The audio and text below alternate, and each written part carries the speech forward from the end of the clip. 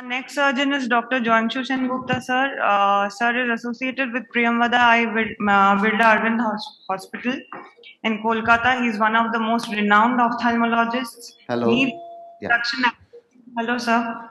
Hi, spot. Excellent cornea and a cataract surgeon. Johnson's spot. So let's have a look at his case.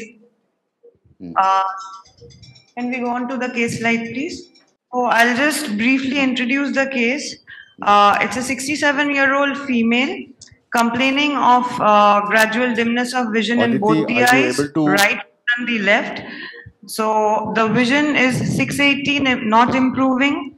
In the right eye, left eye, the same vision. The grade of cataract here is uh, nucleus sclerosis with cortical and a grade 2 to 3 posterior subcapsular. Uh, so the plan is to take up the right eye for uh, phaco IOL. Now, can we move on to the anterior segment photograph? So that's the grade of cataract in the right eye. Coming on to the biometry, the lens uh, selection is uh, pantoric uh, plus 24.5 diopters. Uh, CT count is normal. OU fundus is within normal limits. So I make a 2.2 incision given by the Verion guideline.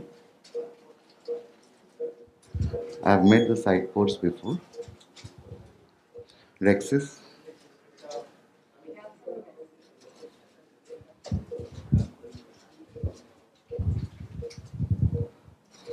I think they gave me DisCoVisc before we started off uh, forceps.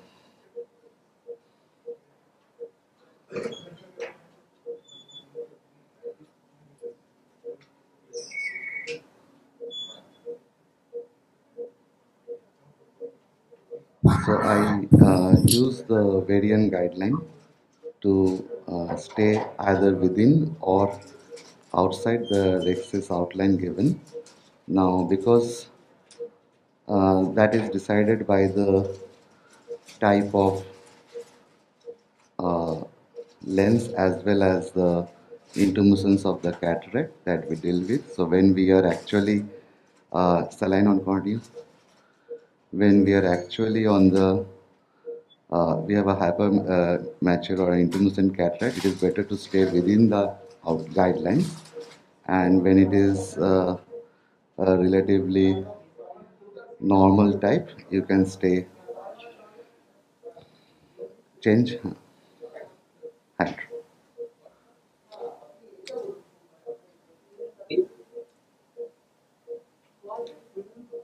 So we have the wave and we have the delineation and the rotation, DisCoVisc.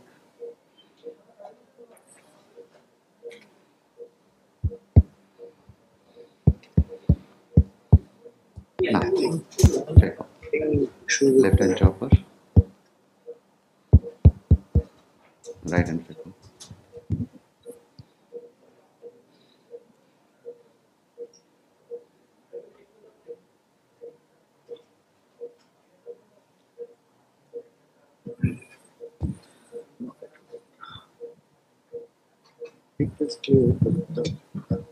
Maybe the eyepiece. মা লাইটের দিকে তাকাও Uh, yeah, s- little bit better focusing if you can uh, do, Dr. Jangshu.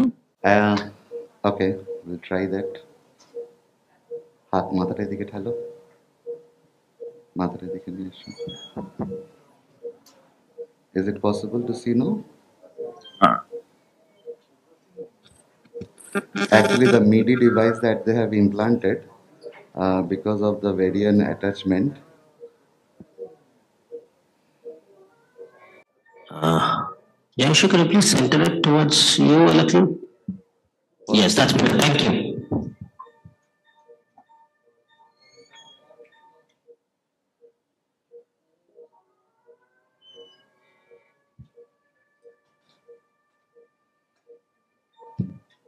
So we saw two different schools of capsulorhexis. One was the, the forceps as I did it and junction with the needle, a needle to the side port.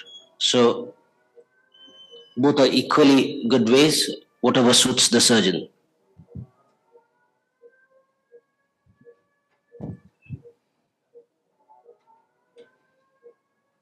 Audience are free to ask the question. Dr. Parvez, any questions?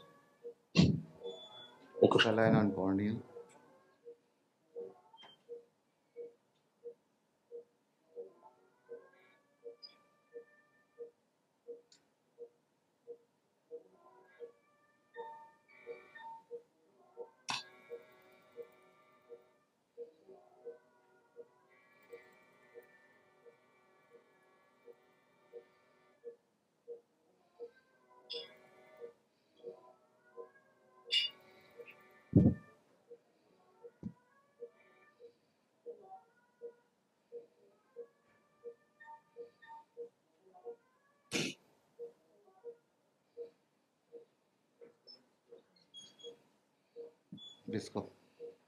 So the cataract is out and we'll go for the cortex wash. Yeah, CD is 4.22. We'll see the percentage energy used later on.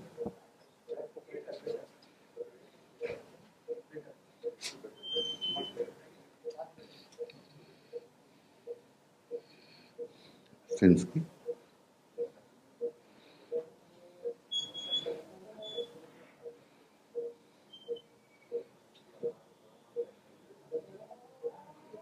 So actually when you are using a, a 20 um, mm side and this is the capacity of the machine which one should uh, take care of. Uh, like when Dr. Arup Bhaumik did the surgery, he made the incision, he extended the incision to a 2.4 and uh, he was using an uh, intraoperative pressure of uh, 20.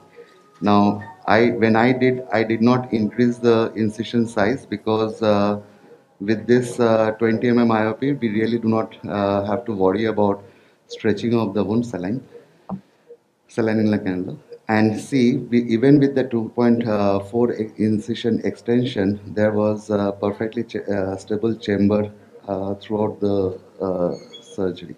In both the situations, whenever we are using whether a high, uh, we use a 6700 normal push uh, whether we are using a normal uh, Varianon toric. Yeah, I think that's a great message uh, from uh, Jayangshu that whether it's 2.2 or 2.4, actually the patient never asks you at the end of the surgery, and you really don't have to answer that. So, uh, yeah, that's what I think. Uh, Shalab wants to offer a comment. Yeah.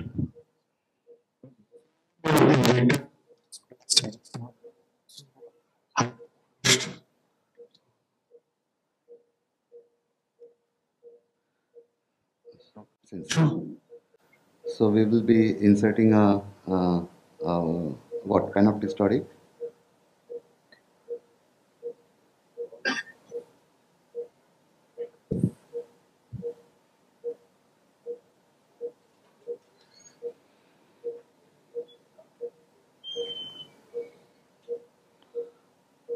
So it opens into the bag and select uh,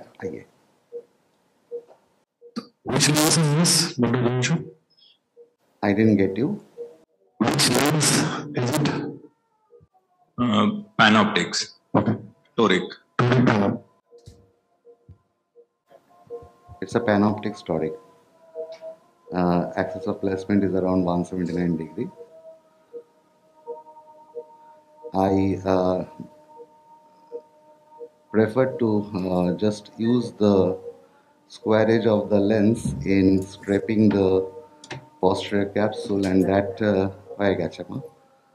that takes care of the loose uh, fibers that we have and we can just easily wash it from underneath which in today's uh, situation with inserting a, a, toric or a multifocal lens it is very important to uh, do so for ensuring the post-operative stability of the lens we will. No I will just take the axis once. Yeah. Saline. Now centration. You always use a coaxial ion. Or have you used uh, by manual also sometimes.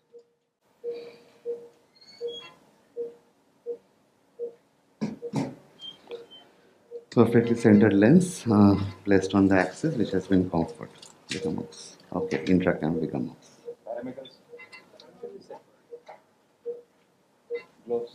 Thank you. Nothing. Thank you. It's time.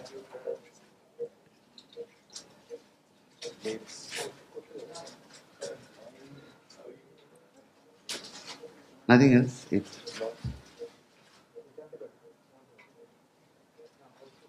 done.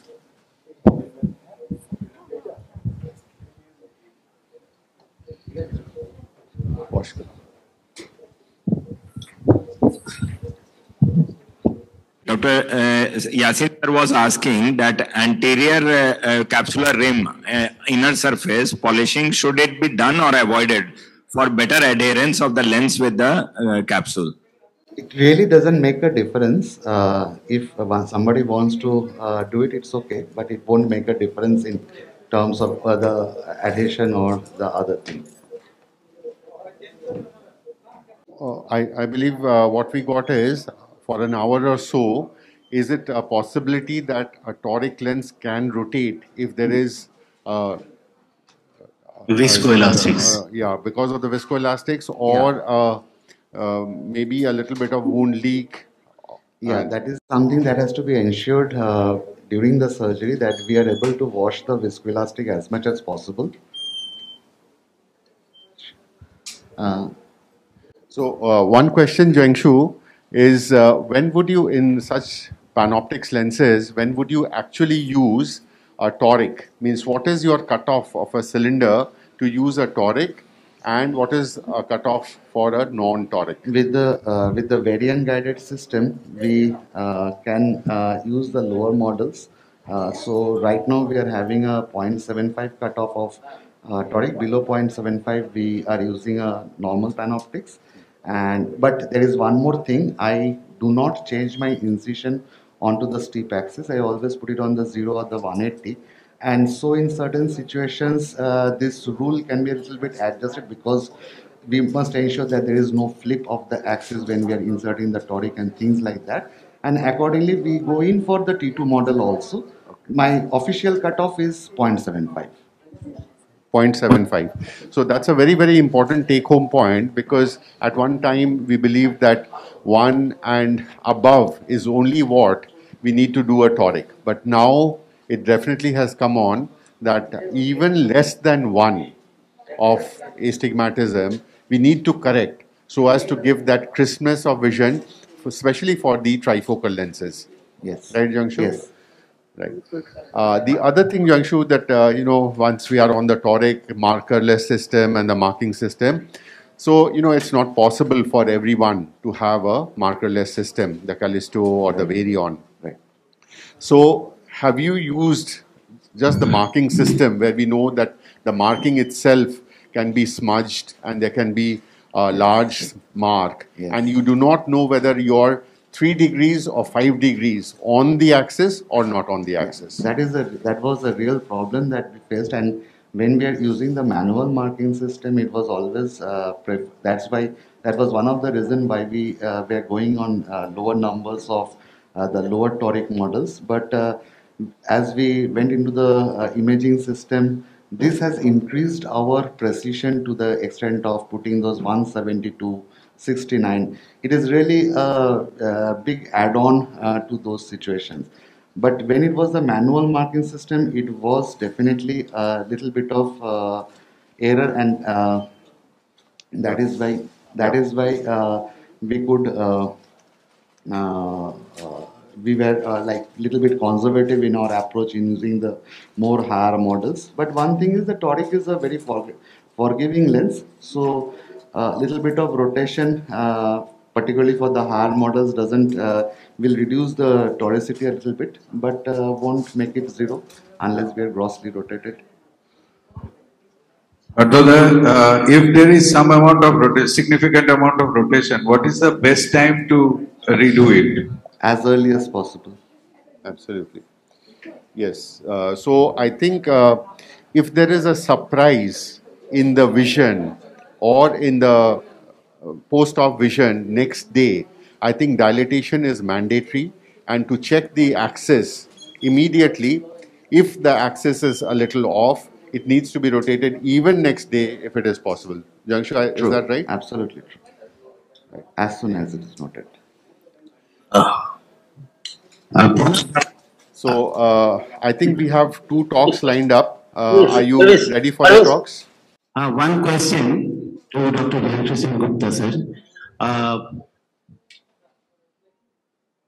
if the pupil gets smaller, then how to manage?